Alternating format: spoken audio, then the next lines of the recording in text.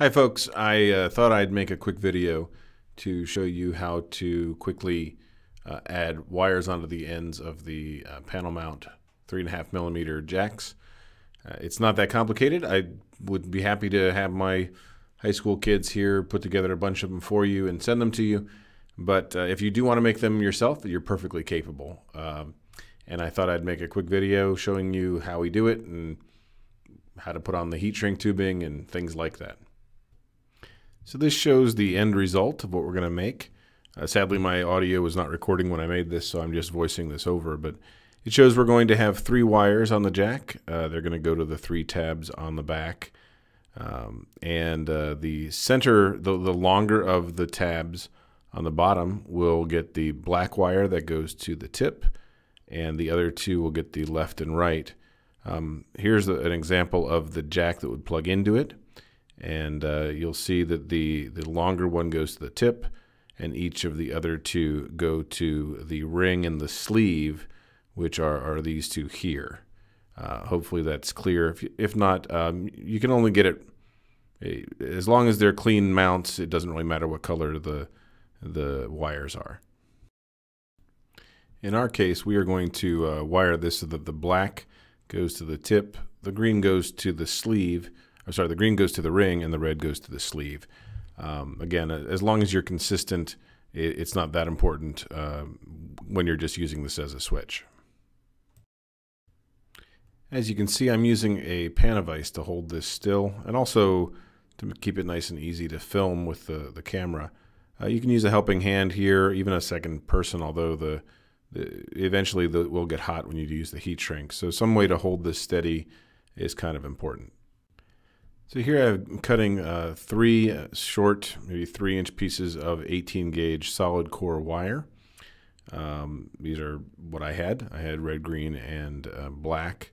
I think black is important. The other two colors don't really matter as long as you are consistent. I'm just using a pair of wire cutters to cut those down to size, uh, and then I'll strip them. Here you'll see that I'm going to use a uh, actually a nicer stripper.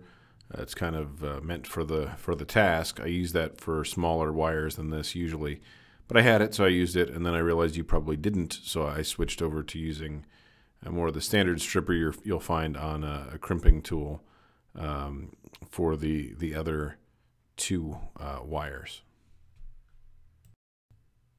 So here I'm uh, using the 18 gauge uh, spot there. I'll take about a quarter inch off of the wires so that they'll uh, be easy to solder on.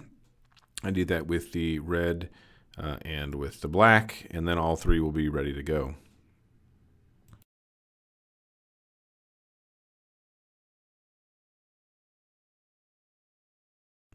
And uh, the green was a little bit longer. The stripped part was a little longer. So I just grabbed a pair of uh, snippers and uh, cut off the tip there. So now they're all the same length. Here I'm double checking to make sure that I'm going to put the uh, black on the same position as the last time I did this with the red and the green uh, going out to the, the, the right, the left and the uh, right, uh, just matching. I'm taking uh, the black wire, putting it into that little hole on the tab, uh, bending it over, and then I will get the soldering iron and solder it. You'll notice that it, it kind of dangles freely there which uh, it's okay. Um, I will uh, tin the wire here. I'll tin the soldering iron to make sure it's nice and shiny. I'll wash it off on the uh, wet sponge, which you can't see. Um, I'll come back and I'll put some solder on that uh, on that joint, and then I'll hold the um, I'll actually hold the wire in place uh, while it sets up pointing backwards. Um, and that that way I don't have to try to do everything at once, right? The solder will, as long as I keep heat on it, the solder will uh, stay liquid and let me uh, position it the way that I want to. And at that point, it is um, going to stay there. I'll probably I was probably blowing on it to let it cool a little faster, but once it dries, it'll stay out. I'll take a just a pair of needle nose pliers and make sure it's as as tight as it can be, and that is a, a, decent soldering. It's not my best soldering work, but it's it's not my worst either. Now you'll see I'm going to do the same thing with the red. Um, I could hold it in place with the, the second hand there, which is what I was showing. I'm actually going to pinch this one closed first. Probably what I should have done in the first place uh, with the black one. Uh, get it nice and tight. Uh, again, it's dangling freely. That's okay. I'll get the solder in place. You'll notice that I put the soldering iron on the metal first to heat it up.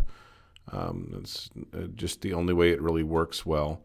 And once I get some solder on the joint, I'll hold it in place, keep it hot, and then move the wires out so that they'll stay straight.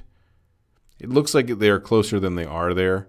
Um, they're they're not quite as, as close as they seem because there's a, some depth to the black one, and we're going to heat shrink these so they won't they won't come in contact anyways. Now we'll add the green wire following the same approach. We put it through the hole.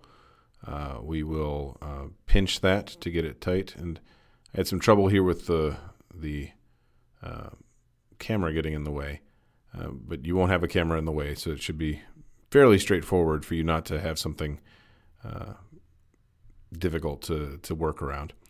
Uh, after we get it crimped on like that, we'll still let it dangle. We'll put some solder in place.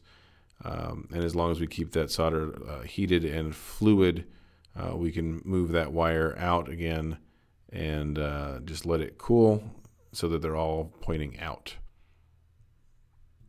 Now we're ready to put on some heat shrink tubing. We'll uh, put on the small tubing for each of them first and we'll come back and heat shrink them uh, and then heat shrink them all together with a larger one.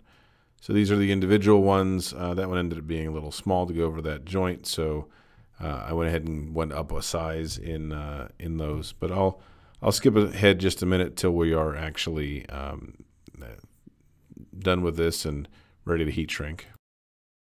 Here you'll see we've got the individual heat shrink tubes on each of the conductors. Um, we're actually going to heat shrink these and then we're going to put a, a larger uh, band for, for stability. Uh, in this case, I, I, the first time through I used a lighter. I prefer using a lighter. Um, you can control the heat.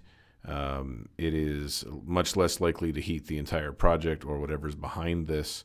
Um, I do have a heat gun that I use for larger projects. I thought I'd kind of show both. And that's the, the way to do it with a lighter. Um, and then I'll take a larger piece of uh, wire here and pinch them all together and uh, heat that up with the heat gun. So here we've uh, taken a, a, larger piece. We're going to slide it over the entire group of wires and uh, all the way up to the, the uh, jack itself. And we'll pull out a, a, heat gun, which I can't really show on the camera here. It's a, an expensive um, you know, the kind you get at Harbor Freight. Uh, and it does do a great job of heating things quickly.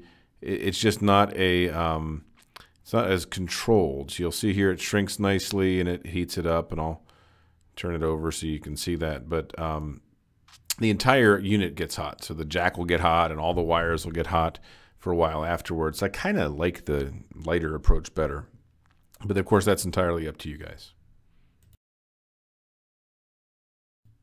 At this point, uh, we're done, technically, as far as the soldering goes. We are going to take this out. I'm going to strip, uh, strip the three wires that we put on there just for testing purposes. I, um, I want to make sure that they're wired correctly and cleanly.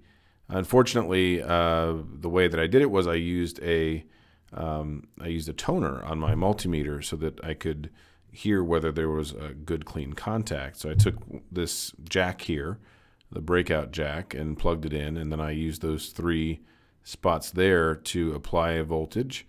Uh, on the other end, I checked them um, by stripping these ends and then um, holding my multimeter to uh, both ends. And it did tone out cleanly. I wanted to make sure that when I uh, was testing the, the ground, it went to the black, and it did. And I also tested to make sure it didn't go to the other two, to make sure we didn't have a short or an open.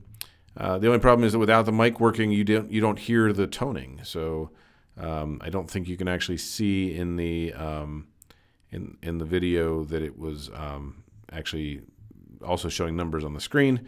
But that that's life. Uh, this this isn't rocket science. This is let's make sure that the black and the black, um, you know, uh, have continuity and that the other two don't. So you use the continuity testing mode of your multimeter, uh, or you can use an ohm meter if you if you don't have that.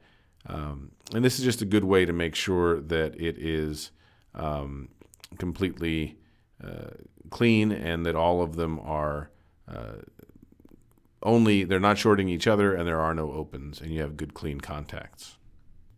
So the last thing I do here, I put a, uh, a washer on. Um, if I was going to send these to you, I would give you a washer because I think they'll help you mount these. But also, it's just a good way when I'm working with the kids. I always have way, some way for them to show that it has been tested. Uh, and this is what I would do with them: is I would have them put a washer on it when it has been tested, so that we know that it's it's complete. You'll see this pretty much matches exactly with the one we started with, um, uh, other than the color of the heat shrink tubing, which doesn't matter. Um, the positioning is the same. They tested out the same.